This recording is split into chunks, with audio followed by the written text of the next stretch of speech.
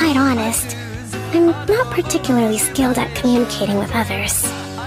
Putting on my Divine Priestess air certainly makes things easier, but once I run out of energy, I start to get a bit negative. I prevent others from seeing that side of me at all costs.